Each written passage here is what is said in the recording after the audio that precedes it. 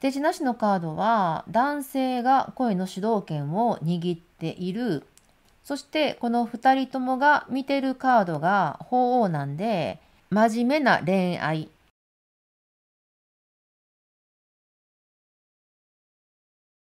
皆さんこんにちは。サラです、えー、今日は竹モネ第11弾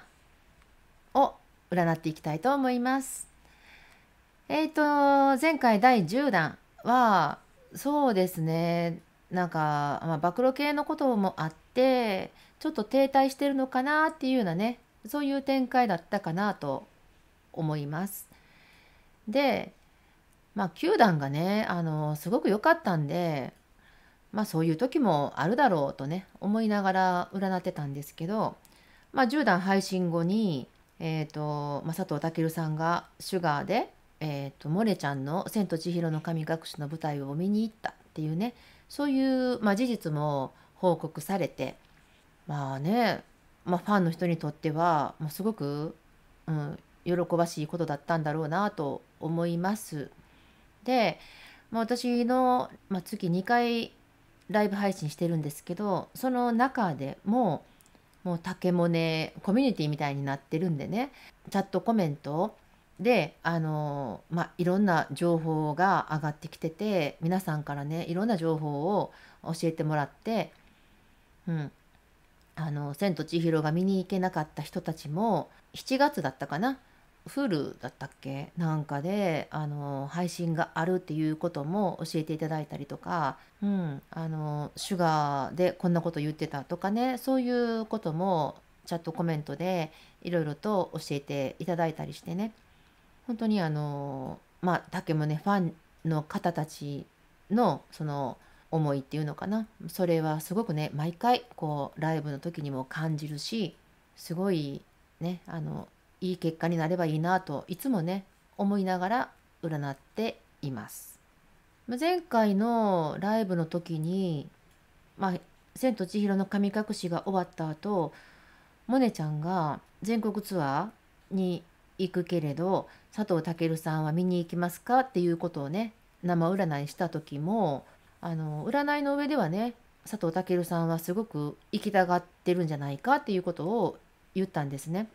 で確かその前の時もそうなんですけど「千と千尋の神隠し」の舞台に行きますかっていう質問の時に占いでは、まあ、モネちゃんはこんな今状況なんでやめた方がいいんじゃないのとか無理しない方がいいんじゃないの？っていうような感じだったけど佐藤健さんはそれでも行きたがってるんじゃないかっていうねそういう展開になったんですね。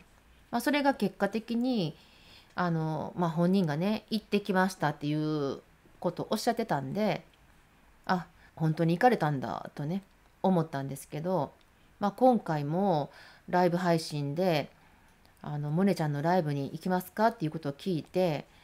なんか本人はもう周りの目とか気にせずに行きたがってるようなそういう占い結果だったんでうんまあそれもね見に行かれたらいいなってね 思ったりしますね。まあ前回のね時も言いましたけどあの私が竹宗占いをすることに対して賛否両論あります。まあ賛成してくださってる方の方が、まあ、はるかに多いと思うんですけどなんか付き合ってる前提で占うなんておかしいとかね、うん、やめてほしいとかまあいろいろと言われてます。まあ割とね辛辣なことも言われてます。これまあ前回も言いましたけどね。だけどあのやっぱりね竹もねファンの方にすると全く情報がないしまあ事実じゃないですよ占いなんでねエンターテインメントとしてまあ、こういう発信をしていくことで少しでもねその、まあ、竹宗ファンの方たちの交流とかなんか心の癒しになればいいなと思って配信してるので、まあ、それでもねあくまでもエンターテインメントとして見ていただいてると思ってますので、うん、まあ私のこの占いの結果でねそんな一喜一憂したりこうもう真実だと思い込んだりそういうことのないように、まあ、楽しく占いを見ていただきたいなと思います。はい。ということでちょっと前置きが長々となりましたが、えー、第11弾占っていきたいと思います。あそうそう前回のライブでも言いましたけどなんかモネちゃんの、えーと、コンサートツアーのグッズに地球儀が使われるっていうことでねそれがなんか佐藤健さんもすごく地球儀が好きだっていうそこがなんかね匂わせてるようなね気がしますよねっていうようなねこともライブ配信でねあの話してたんですけどあと最近で言うとえー、っと橋本環奈ちゃんにあげた漢方薬か何かが喉に効くよって言って渡したのが、まあ、以前佐藤健さんが有吉さんにあげたのと同じじゃないかとかね。そういうなんかネット情報もありますよね。まあね何が真実かは分かりませんけどまあなんかさまざまなねこうファンからするとね嬉しいようなねこうドキドキするような情報も流れてくるのでうんまあねあの本当のことかどうかはねわからないけど、まあ、私はねあのいいように考えてワクワクすればいいんじゃないかなって思ってます。はい。では、えー、第11弾「現状と今後」を占っていきます。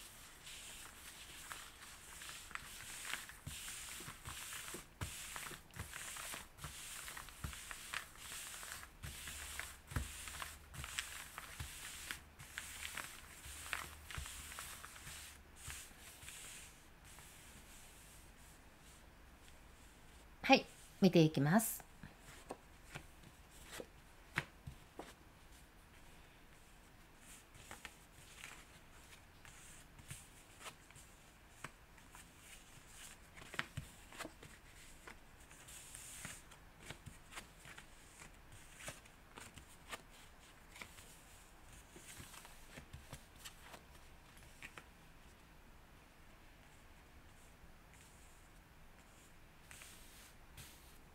こういう展開です。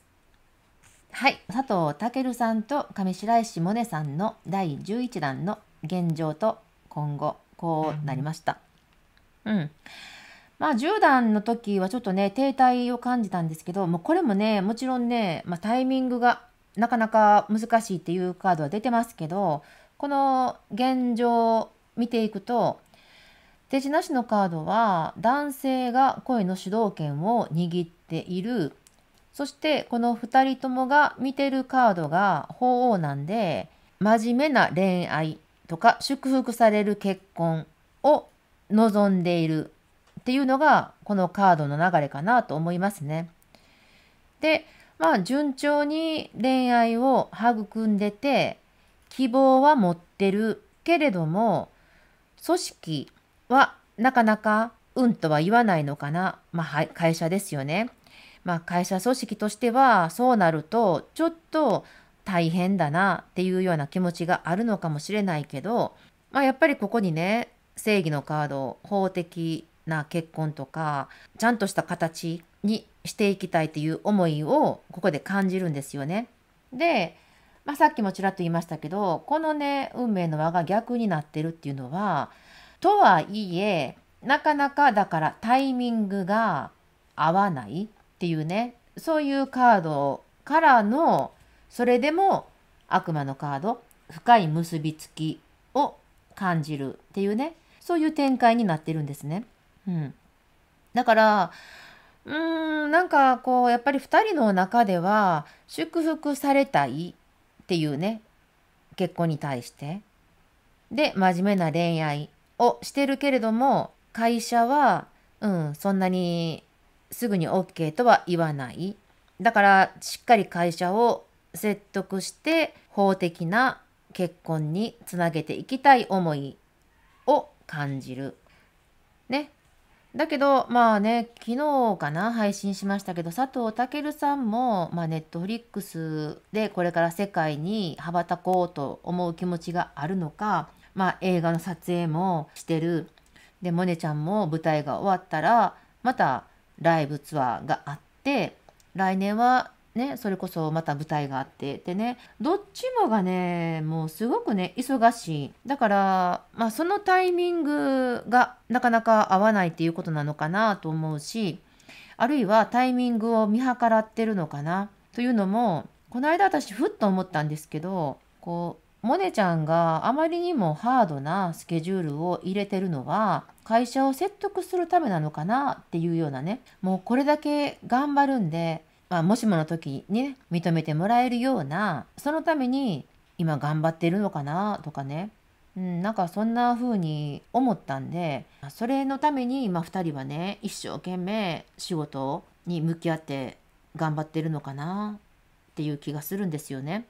まあもう最終的にねこの悪魔のカードなんでねこれはもう深い結びつきっていう意味があるのでうーんまあ、なかなかね、あのー、進展はしてないかもしれないけど変わらず深い結びつきでつながってるよっていうねそういう意味になるのかなと思いますね。まあ、良い報告がね聞けるのがいつになるのか分かりませんけど、まあ、希望を持っていいお付き合いをしているそして深い結びつきそして